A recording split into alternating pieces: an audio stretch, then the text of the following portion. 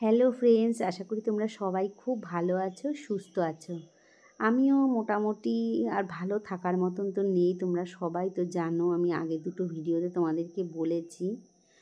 আর এখন কিন্তু আমরা সবাই মিলে বোনের কাছেই রয়েছি। আর বোন তো তোমরা জানো, মার কাছেই থাকে, আমরা তিন বোন।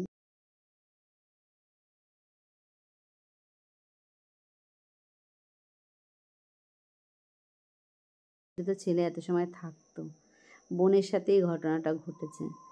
তো আমরা সবাই মিলে রয়েছি বোনের কাছে আর দেখো রান্নাবাড়ি চলছে।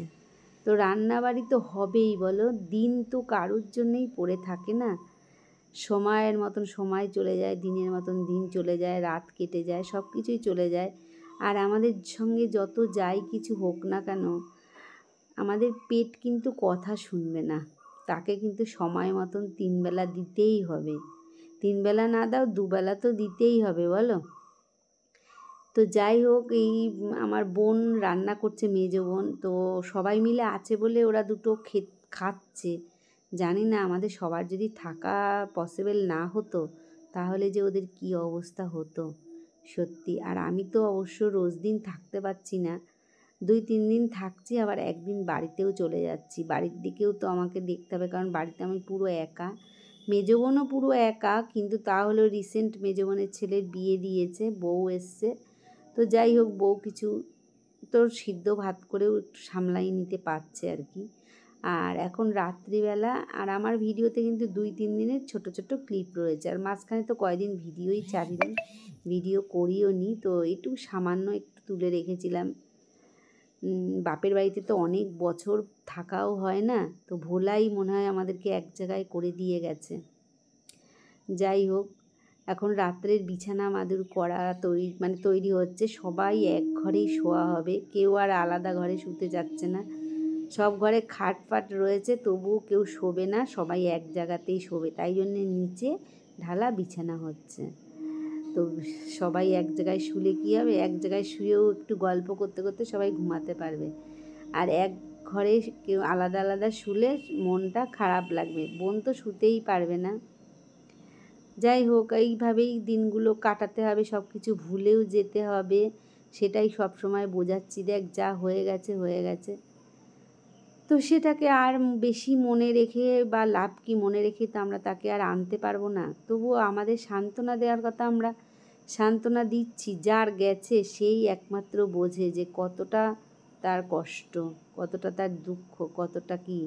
যতই আমরা বোঝাই না কেন, যেই না একা একা কোনো জায়গায় যাচ্ছে, বাথরুমে আসছে কি কোথাও যাচ্ছে, সেখানে গিয়ে দেখি বসে বসে কাঁদছে। তো সব সময়ই চোখে চোখেই রাখতে হচ্ছে।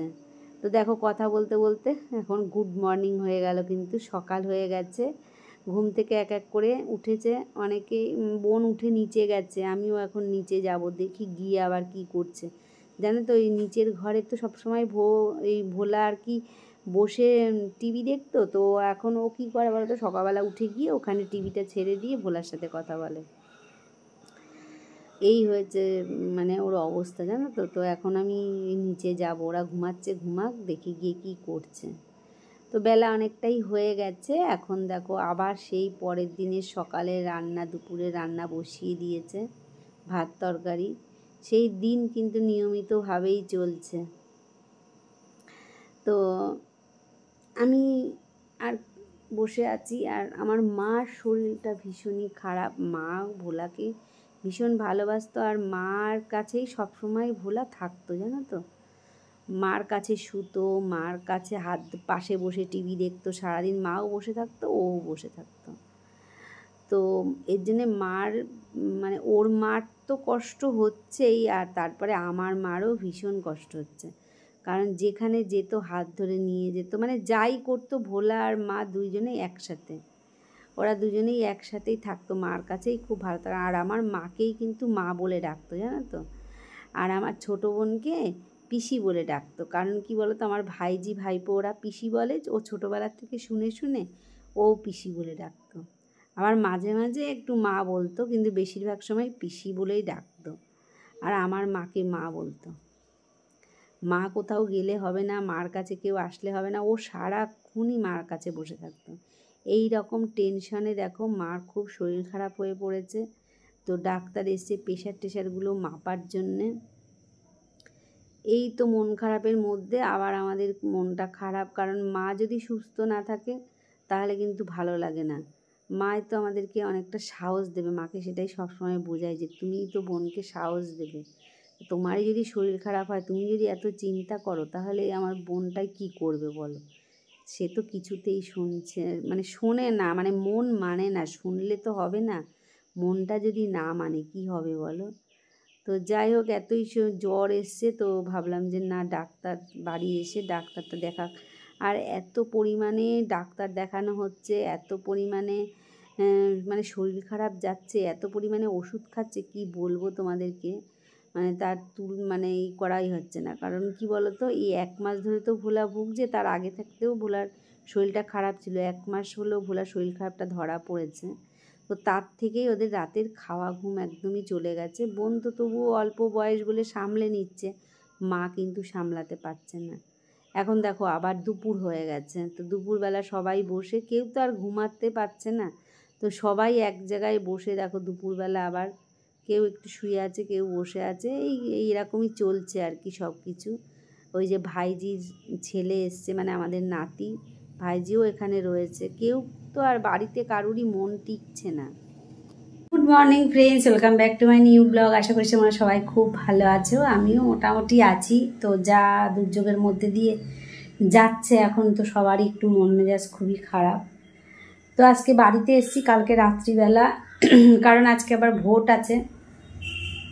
ভোট টোট দিয়ে তারপরে আবার একটু বাড়ির দিকটাও তো সামলাতে হবে, একেবারে গিয়ে থাকলেও তো আমার হবে না। তো এটিকে একটু গুছিয়ে গাছিয়ে রেখে আবার যাব। আর বউ ওই যে বসে আছে, এখন এখনও চা খাইনি, চা বসিয়েছি, চাটা ছেঁকে নিয়ে আসি। চল। তো আশা করি তোমরা আমার ভিডিওর সঙ্গে থাকো, দেখতে থাকো। চলো তাহলে চাটা খেয়ে নেই।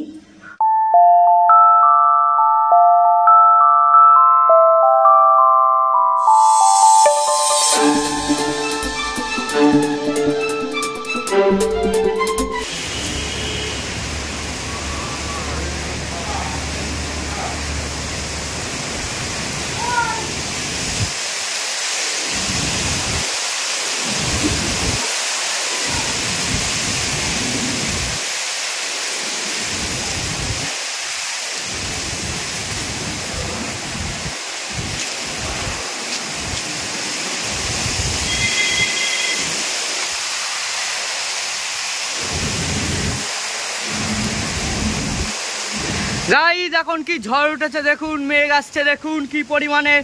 এই খবরে বলেছিল যে মঙ্গলবারের মধ্যে কালবৈশাখী আসতে চলেছে।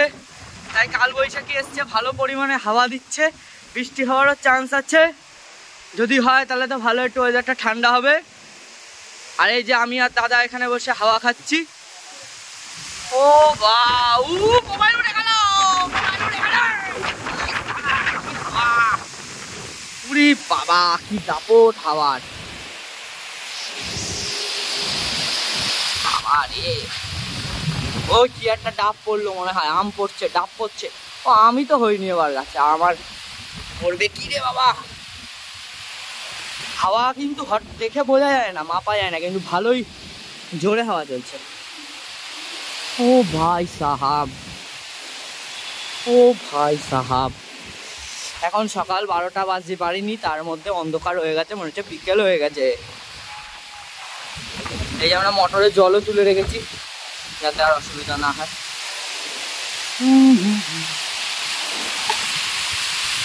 এই রে মেহগুনি গাছটা দেখে যাচ্ছে।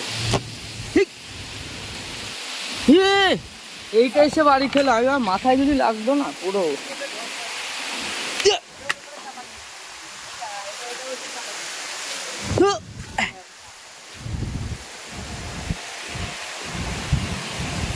বাহ মে হাওয়া দিলে না অনেক সময় বৃষ্টি হয় না।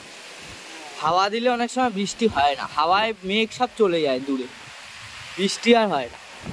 হয়তো একটুখানি হবে, যতটা হওয়ার কথা হবে না। ও, মেঘটা কেমন লাগছে। ভালো ঘন কালো মেঘ। হ্যাঁ। ডাকছে কে দেখে আসি। পাশে পাশে। আজকে হলো কুড়ি তারিখ, তো আমি তো ভোট আমাদের এখানে। আজকে ভোট দিতে বাড়িতে চলে এসেছি আগের দিন রাত্রিবেলা। ভো মাছ কেটে নিয়ে এসছে বাজারে। আজকে কোনো মাছের লোক বসেনি, তো মাছটা বাধ্য হয়ে আমাকে কাটতে হচ্ছে পার্শে মাছ নিয়ে এসছে। মাছ কাটা হয়ে গেছে, আর রান্না করছি আর ঘর বাড়ি মুছে নিচ্ছি। কারণ কি বলতো? সকাল সকালে রান্না করে কাজকর্ম সেরে ভোটটা দিয়ে আসব। আর ভোটের দিনকে দেখো আমাদের এখানে কি বৃষ্টি, ঝড় বৃষ্টি শুরু করে দিয়েছে। ছাতা মাথায় দিয়ে যেতে হবে মনে হচ্ছে ভোট দিতে। তো এইভাবেই আর কি আজকে ভোটটা দিয়ে আজকে সারাদিনটা যাব না, কালকে আবার যাব। বাড়িতে। তো আজকের ভিডিওটা আমার এই পর্যন্তই। আশা করছি তোমাদের ভালো লেগেছে। ভালো লাগলে লাইক শেয়ার সাবস্ক্রাইব করে আমার পাশে থাকবে।